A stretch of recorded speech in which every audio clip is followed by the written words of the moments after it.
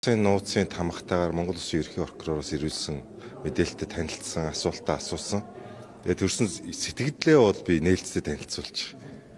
Тий. А миний төрсэн сэтгэл бол энэ асуудлыг хаалцтайвч нээлттэй хэлцэх хэрэгтэй. Ёстой юм байна гэдэг итгэл үнэмшил хатуу төрсөн. Ягаад тэгэхээр тэн дотор ерөөсөө арт түмнээс нуугаад авах юм ерөөсөө алга. Ерөөсөө нуугаад авах юм. Тэгээд нээлттэй хэлцээх бол эн чинь илүү ойлгомжтой, хардлага сэрдлэг байхгүй, хэн хэн ямар байр суурьтай байгаа юм. Өнөөдрийг хүртэлх мөрдөн шалгалтын одоо байдлаар хүрээн цугларсан нотлох баримтууд нь одоо ямар хэмжээнд байгаа юм ч гэдэг юм уу те. Хүмүүс одоо энэ нөгөө хаалцтай болохоор төсөөлөн бодоод юу юу ч байгаа гэж тийм ээ бодож байгаа. Тэр бүгднийг нээлттэй л ярьчмаар л асуудлууд байна.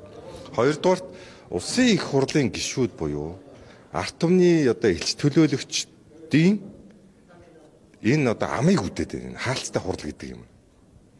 Энэ хаалттай хурал дээр чи ингээд суучхаар нээлт одоо ингээд нээлттэй байр суурь илэрхийлэх эрхээ хязгаарлуулад байна.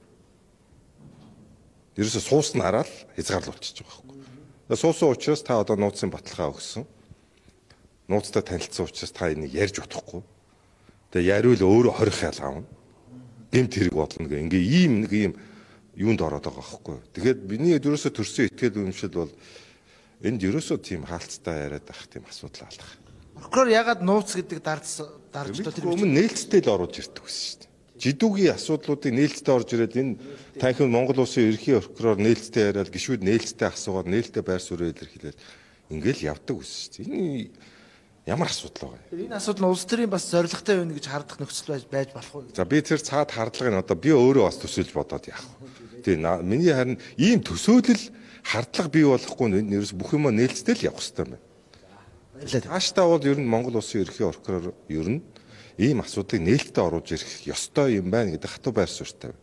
Яг тэр энэ улсын их хурл Монголын одоо төлөөллийн хамгийн дээд байгууллага болон ард иргэдийн орнд ийм анцаа үүсгэж шít. Энэ нэг нууцын тамганаас ч болж. Тэ.